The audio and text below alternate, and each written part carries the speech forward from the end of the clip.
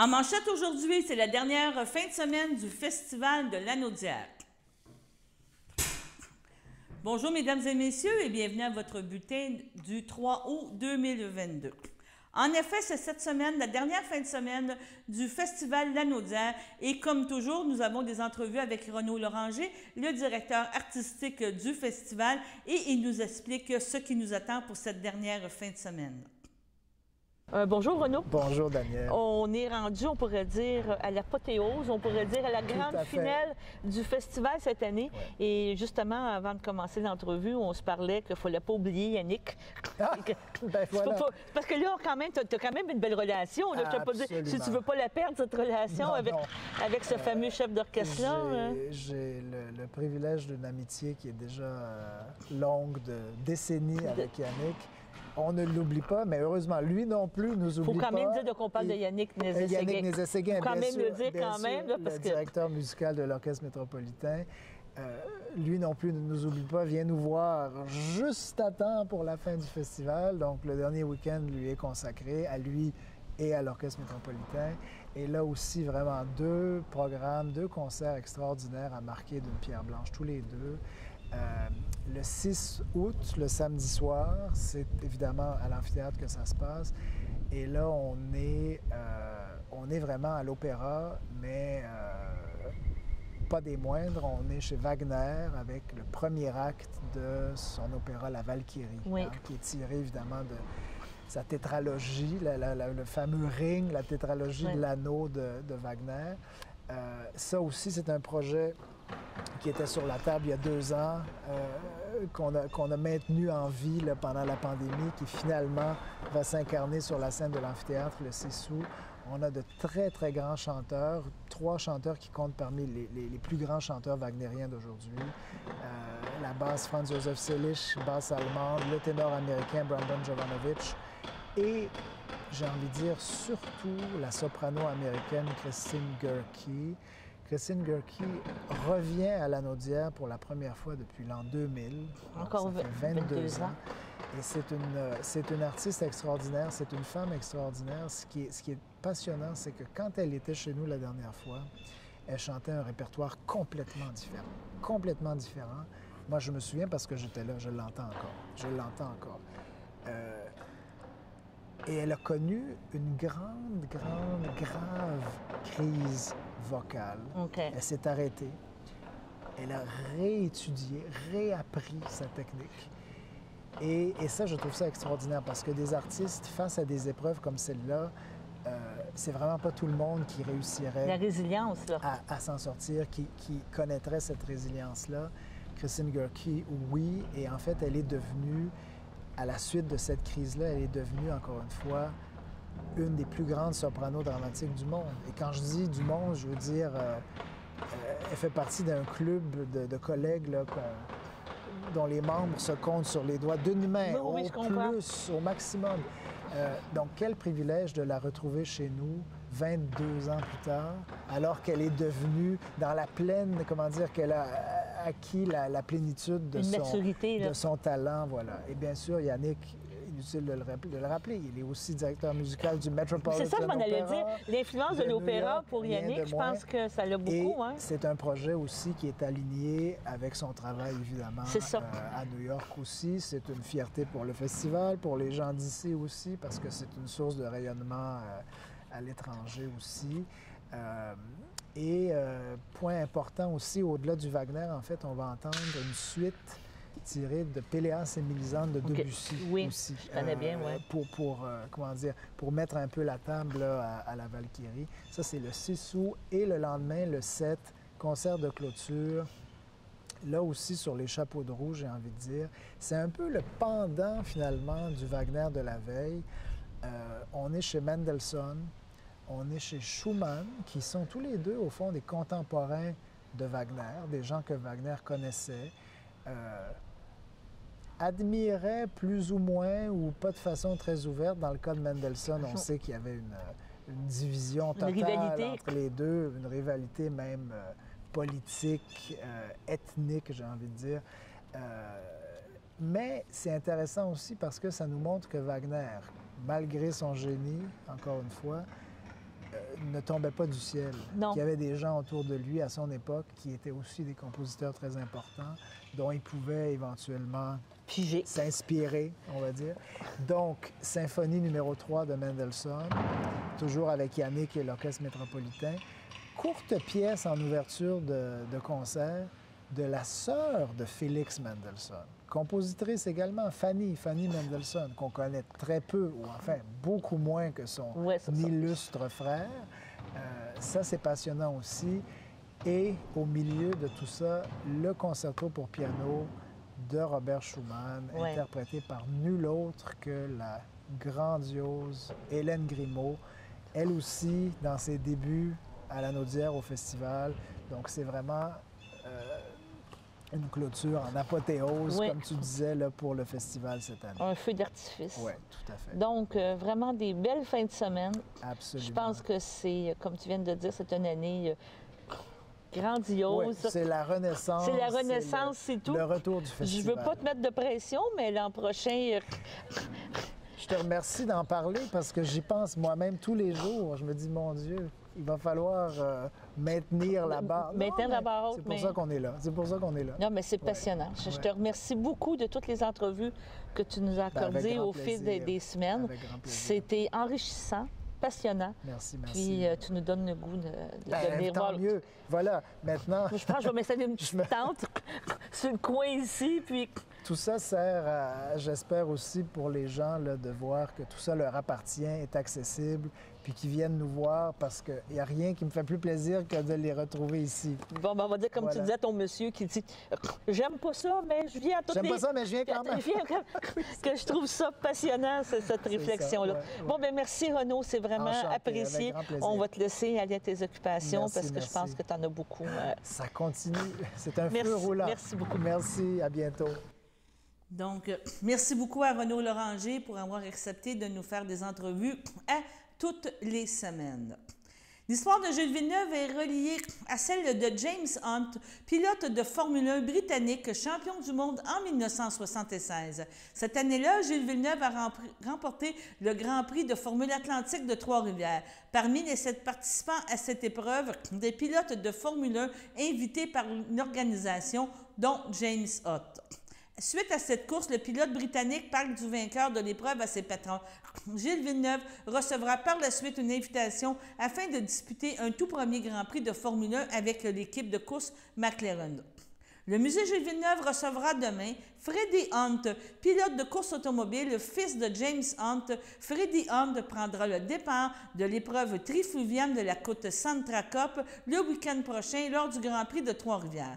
Lors de cette rencontre qu'il y aura demain, dans la foulée de la participation de Freddy Hunt au Grand Prix de Trois-Rivières, il sera aussi question du lancement officiel de la production du documentaire Le Monaco d'Amérique, mémoire de circuit. Donc, on vous présente la bande-annonce du film. Le film, entre autres, de Freddy Hunt, revisitera le Grand Prix Trois-Rivières, un événement marquant dans l'histoire de la course automobile, mais aussi dans celle de Gilles Villeneuve. Ce, pour ceux qui veulent avoir des souvenirs de cette époque, regardons la bande-annonce du film Roche, qui met en vedette James Hunt et Nicky Lauda. L'action se passe l'année avant l'arrivée de Gilles Villeneuve chez Ferrari et fait suite au départ de Nicky Lauda. Maintenant, écoutons l'extrait, la bande-annonce de ce film.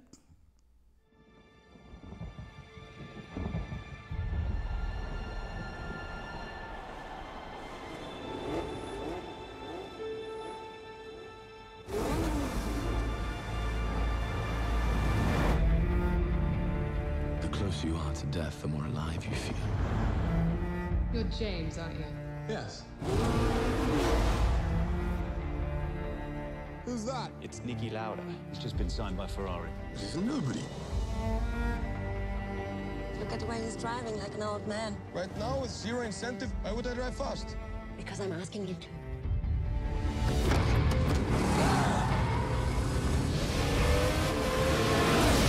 This is an incredible battle between these two great drivers.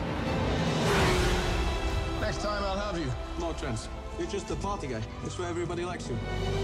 Yes, I know, I'm terrible. No, you're not terrible. You're just who you are at this point in your life. To be a champion, it takes more than just being quick. You have to really believe it. I've been waiting for this my whole life.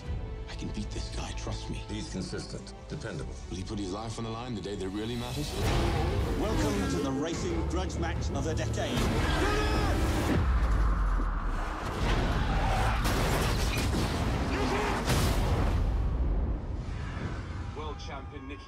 Trapped in a searing inferno of 800 plus degrees. Talk to me, James. Don't go to men who are willing to kill themselves driving in circles looking for normality. What did your wife say when she saw your face? She said, you don't need a face to drive, you just need the right foot. I feel responsible for what happened. Watching you win those races while I was fighting for my life. You were equally responsible for getting me back in the car. 42 days after his near-fatal accident, Nicky Lauda will race here today. More powerful than the fear of death is the will to win.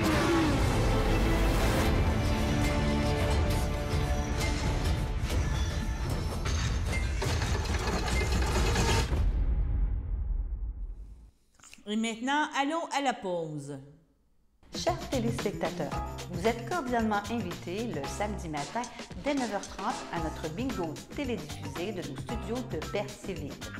Depuis plusieurs années, nos adeptes de la télévision régionale se sont divisés un montant de 600 dollars, disponible chaque semaine lors de notre joute de bingo à CTRP. Un amical animateur et ses joyeux compères, dont un technicien et deux bénévoles, partagent tour à tour cette émission dans le but de vous agrémenter durant 60 minutes. Un moment de plaisir qui pourrait s'avérer payant pour vous. Vous pouvez donc vous procurer les cartes de jeu chez les dépositaires participants et j'ai nommé à Berthierville, le dépanneur Formule 1 et le garage Pétroté sur la rue Gilles Villeneuve, le marché IGA Extra sur la rue Gabrielle Brissette, le marché Métro sur la rue Notre-Dame et la pharmacie Proxime sur la rue Frontenac. À Saint-Ignace-de-Loyola, le dépanneur Esso sur la rue de la Traverse et le marché Aldo sur le rang Saint-Michel. C'est donc un rendez-vous hebdomadaire chaque samedi matin dès 9h30 sur les ondes de CTRB, votre télévision régionale et communautaire, maintenant en haute définition. On vous attend donc en grand nombre et toute l'équipe vous souhaite bonne chance.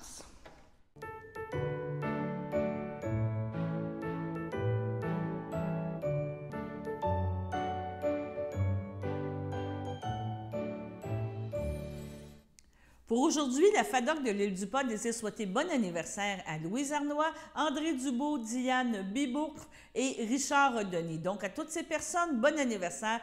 Profitez-en pour bien fêter avec votre famille et vos amis. Lazare Quantum, on vous en parle, c'est le spectacle qui commence demain soir. Le spectacle pour signifier, pour souligner les 350e anniversaire de la ville de Berthierville. Et ce sera un spectacle laser en exclusivité sur un mur végétal. On vous rappelle que cette activité aura lieu à Berthierville et euh, écoutons justement un extrait de l'entrevue que nous avait donné le directeur général, propriétaire, président et concepteur de Lazare Quantum de ce spectacle. C'est passionnant, qu'est-ce que vous nous dites? J'ai hâte de le voir. Aimant la technologie, c'est toujours passionnant de voir le résultat, mais vous parlez avec vous, c'est passionnant aussi savoir l'arrière. Donc, on s'attend à quoi? Vous avez parlé d'images artistiques, de musique, c'est ça qu'on va avoir. Et si Alors, on va avoir euh, surtout euh, euh, donc une musique qui va être une musique accompagnatrice, hein, parce qu'on voulait. Ce qui est important, vous avez deux façons de faire les choses. Vous, avez, vous pouvez faire un bête documentaire sur des arbres en disant voilà, il s'est passé ça à telle date et telle date. Et je pense que le laser n'est pas là pour rivaliser avec la télévision. La télévision fait très bien ces, choses-là. Et, donc, au niveau laser, on voulait que ce soit quelque chose d'un peu plus euh, artistique, d'un peu plus. Euh, euh, on, va laisser les gens libres à eux d'interpréter ce qu'ils voient. Donc, c'est une musique qui va évoluer. Et euh, là-dessus, on va avoir des images. Tantôt, ça va être des images complètement abstraites. Donc, ça ne sera pas une image en tant que telle. Les gens ne pourront pas dire Oh, waouh, c'est un oiseau qui passe. Euh, par contre, des fois, ils pourront dire Waouh, c'est un oiseau qui passe. Euh, donc, on va, on va jouer sur ce rideau d'arbres de façon artistique, de faire évoluer des formes, des images, des, des, des, formats abstraits de couleurs qui vont jouer. Donc, pour aller magnifier finalement les arbres, on veut que cet arbre-là soit comme une sorte de tableau vivant. donc, on va essayer, si vous voulez, de, de, pouvoir rendre à ces arbres une, sorte de, de, valeur artistique à ce niveau-là. De magnifiance, de magnifique. Exactement. Exactement. La taille des images, c'est sûr que bon, ben, vous faites une petite image, mais là, sur les arbres, euh, ces arbres vont, vont, finalement devenir un, écran qui va permettre de, de, dessiner plein de choses euh, abstraites, donc sur une musique qui dure à peu près 15 minutes. Et donc, euh, Qu'est-ce que je voulais dire? De, de, ce que je comprends, je, ben, je vais devoir, on va devoir, et tout le monde va, pas devoir, mais pour vous vraiment apprécier, parce que c'est quand même des, un événement qui ne se répétera pas pendant des, de, longues périodes. Il y a trois spectacles, 20h30, 21h30 et 22h30. Il va falloir presque le voir au moins deux fois pour pouvoir apprécier et le voir de différents endroits. Parce que si on ben, commence avec le belvédère, comme vous me parlez, on connaît le, on connaît le, mur végétal. Qu'est-ce qui va se passer là? Ça ne veut pas dire que je vais voir qu'est-ce qui va se passer à 300 pieds ou à 400 pieds plus loin. Ben c'est ça, c'est qu'on va, on va, on va taper sur une grande largeur. C'est sûr qu'on ne prendra pas tout le rideau d'eau sur toute la longueur, parce que sinon on serait étalé, sur plusieurs milliers de pieds. Puis ça, c'était, euh, on va dire, au niveau du concept complètement impossible de répartir de la musique tout le long, etc. Oui. Donc, sur la largeur qu'on va mettre, effectivement, une personne qui va regarder a tendance à focuser et à regarder dans une certaine direction et elle va voir quelque chose, mais pendant ce temps-là, elle n'a pas eu le temps de voir qu'il se passait quelque chose euh, à l'autre bout de l'image. Donc, euh, effectivement, si vous venez deux fois, l'avantage, c'est que vous allez pouvoir apprécier de, de, façon différente et puis de dire, ah tiens, j'avais pas vu ça tout à l'heure, ah, ouais, c'est beau, etc. Donc, il y a vraiment, euh, il y a vraiment un côté très sympathique. En plus, par rapport à un spectacle où on est assis dans une salle et on attend une chose comme ça, ben, effectivement, comme vous le disiez très justement, on peut changer de place, on peut se promener et puis on peut apprécier le show avec des angles euh, différents. Et une autre particularité qui est importante, c'est les bonnes interactions. Vous allez m'expliquer. On va écrire notre message, il va apparaître sur le mur, c'est tout ça qu'il faut s'attendre? Ben, ben là, on, s'était dit que ça serait une super idée, puisqu'on est en train de faire euh, euh, disons, une projection laser, puis qu'on fait des belles choses artistiques, et pourquoi on ne demanderait pas aux gens eux-mêmes d'aller dessiner des choses sur ces arbres Donc, on va avoir deux bornes euh, donc interactives qui vont être euh, réparties, disons, qui, qui, ne seront pas à côté, mais qui vont avoir une certaine distance entre elles, et les gens pourront venir eux-mêmes. c'est un écran tactile, donc soit avec leurs doigts, soit avec un crayon. Donc, on va leur donner, je pense, un crayon qui est prévu. Euh, donc, on va, on va pouvoir leur dire ben, allez-y, dessinez vous-même, essayez de faire euh, quelque chose. il y a des gens qui vont faire des petits bonhommes bâtons. Et puis, ben, des, fois, des fois, on arrive avec des gens qui font des trucs extraordinaires, qui sont magnifiques. Et puis, euh, donc, ben, voilà. Donc, ils auront la chance de pouvoir exprimer des choses sur les arbres. S'ils veulent écrire quelque chose, je t'aime, mon amour, why not? On a déjà eu des déclarations de mariage. donc, peut-être que ça peut arriver de nouveau. On vous le souhaite. Mais euh, en fin de compte, voilà. Et donc, il y aura un technicien à chaque borne qui sera là euh, donc pour pouvoir assister les gens qui vont, euh, qui vont donc dessiner ou écrire. Dernière question. Je ne veux pas rentrer dans le secret des dieux, mais faites-vous des tests? Est-ce que vous savez si ça va vraiment fonctionner? C'est sûr, vous allez me dire oui, là, mais moi, l'incrédule, peut-être vous dirait, est-ce que vous savez si ça va vraiment fonctionner? Non, oui, on sait que ça va fonctionner et s'il y a des tests, oui, il y a, mais je ne peux pas vous dire quand. Non, non, on ne veut pas savoir quand, mais c'est ça, il y a des choses, OK. Bon, ben, en tout cas, je vous remercie beaucoup. On rappelle que ce sera euh, les deux premières fins de semaine du mois d'août. On va possiblement vous rencontrer et on va être là pour euh, ben, visionner ce, Le soir de la première, le soir de la première, euh, c'est sûr que je suis là. On va sûrement vous rencontrer puis vous reparler cette journée-là, vivre euh, comment vous avez vécu l'expérience et questionner les gens justement, voir euh, c'est quoi vraiment la réaction des gens par rapport à ça. Que merci beaucoup de gayer notre 350e. C'est vraiment apprécié. Et on va avoir pouvoir l'honneur de dire qu'à Berthierville, on a eu euh, un spectacle unique et vraiment adapté à notre municipalité ici. Ben, ça nous fait plaisir d'être avec vous pour cet grand événement. D'accord, ben, je vous remercie. Merci beaucoup. Au revoir. En terminant, selon les informations obtenues, l'ordre de l'événement pourrait être ajusté selon la température, mais ça ne sera pas annulé. Soyez présents pour vivre cette première canadienne. Il y aura des amateurs publics tout au long de la soirée. Donc, c'est donc un rendez-vous demain soir sur la rue Frontenac pour voir cette première. Maintenant, avant de passer à la deuxième pause, on vous parle de la berce du Caucase, une plante dont il faut se méfier. La berce du Caucase est une plante exotique envahissante qui se trouve un peu partout sur les différents terrains, bords de route, chemins de fer et cours d'eau et lacs. Elle est nuisible pour l'environnement, gêne la croissance des autres plantes et accélère l'érosion des berges. Mais elle est surtout toxique car la sève de la berge contient une toxine qui s'active sous l'effet du soleil. Au contact de cette sève, la peau réagit sous forme de lésions parfois graves, enflures, rougeurs, cloques, brûlures, taches brunes pouvant persister pendant plusieurs mois. Cette réaction peut se produire immédiatement ou, plus tard, jusqu'à deux jours après le contact qui se fait en touchant directement la plante ou indirectement. Un exemple, en touchant un animal qui s'en est approché. Un exemple, ou un outil de jardinage. Il est important de ne pas la semer, de la planter, de la laisser se multiplier. Il faut vraiment essayer qu'elle s'élimine soi-même sans protection. C'était un avertissement concernant cette fameuse plante. Et maintenant, allons aux avis d'essai.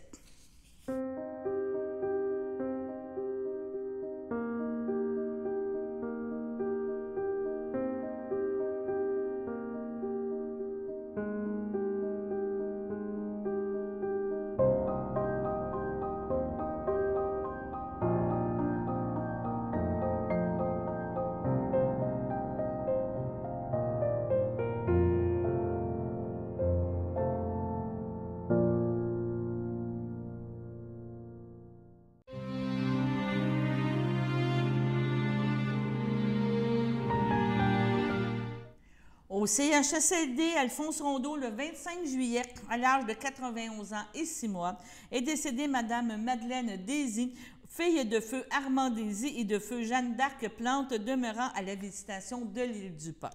Elle a rejoint ses frères André, Paul, Maurice et Richard. Elle laisse dans le deuil son frère, sa sœurs, belle-sœur et son beau-frère, Gilbert Daisy, Réjeanne Plante, Claudette Daisy, euh, excusez-moi, Juno Champagne, Mariette Daisy, euh, feu Michel Biron, Gisèle Plante, feu Richard Daisy, ainsi que sa, filleule Véronique Biron, ainsi que plusieurs neveux, nièces, autres parents et amis.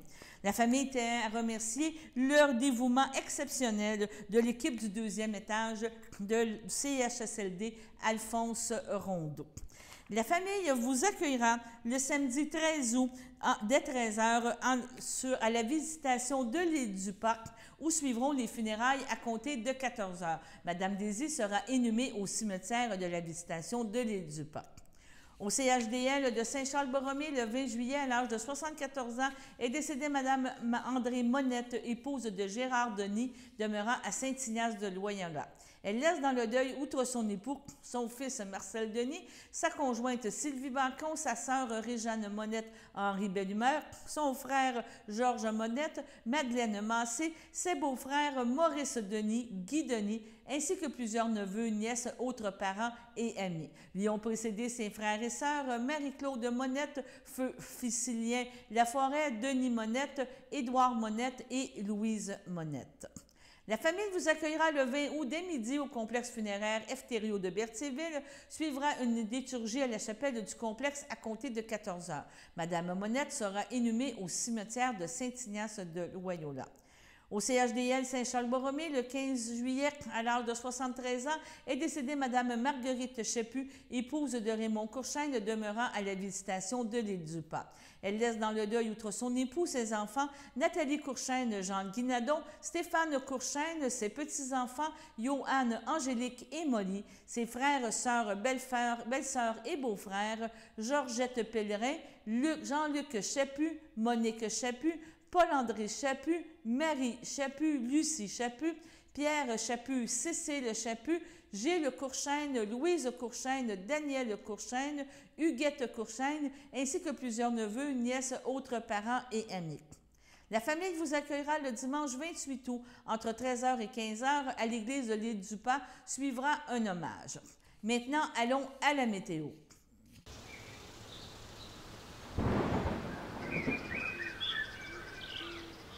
Bienvenue à votre météo du mercredi. Cet après-midi, nous aurons une température de 26, un temps ressenti de 30. Mercredi soir, ce sera une température de 23, un temps ressenti de 27. Mercredi nuit, c'est nuageux avec éclaircie, une température de 20, un temps ressenti de 22. Jeudi matin, nuageux avec orage dispersé, une température de 23, un temps ressenti de 28, moins de 1 mm de pluie. Jeudi après-midi, ce sera des nuages avec orage dispersé toujours, une température de 27, un temps ressenti de 27, 1 à 3 mm de pluie. Jeudi soir, toujours des, des nuageux avec orage dispersé, une température de 24, un temps ressenti de 32, avec un, environ 1 mm de pluie. Voilà, c'était tout pour votre météo. Merci beaucoup, Alexandre, pour la météo. On vous rappelle d'être retour demain pour le prochain bulletin de nouvelles. Nous devrions avoir une entrevue avec Mme Julie Boucher, la candidate pour le Parti québécois dans le comté de Berthier pour les élections de octobre. Sur ce, portez-vous bien et à demain.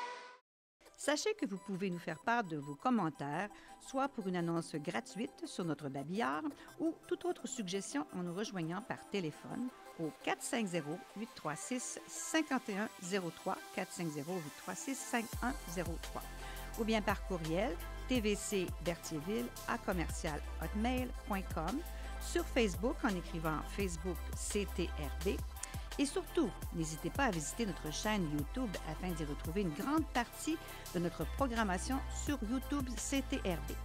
Les émissions sont classées par catégorie, vous permettant de chercher moins longtemps. Vous pouvez aussi cliquer sur le rectangle rouge S'abonner pour être à l'affût des dernières émissions enregistrées.